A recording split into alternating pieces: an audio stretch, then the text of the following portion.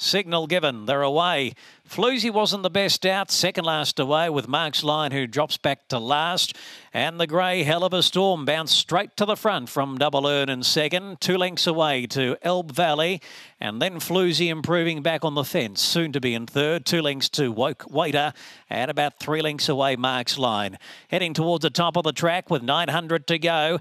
Hellofastorm's gone clear, some two and a half lengths, trying to run them along in second Double Earn, Floozy third, El Valley fourth, the Woke Waiter two lengths away and Mark's Line. Heading off the back, Hellofastorm does come back to the field, takes a little breather, only leads a length now, make it three quarters.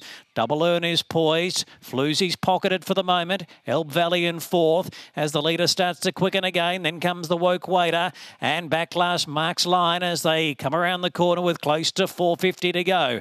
So Hellofastorm comes into the straight from Double Earn and Floozy sweating on a run. Elb Valley comes out three wide. The Woke Waiter in behind those runners as they draw down to the 300 metres. Hellofastorm still by one length on Double Earn. Floozy under the whip trying to make ground along the fence. The Woke Waiter's coming off heels trying to raise a bit down to the 100. Hellofastorm still in front from Double Earn. Floozy back on the fence. Hellofastorm still fending them off. Hellofastorm won it.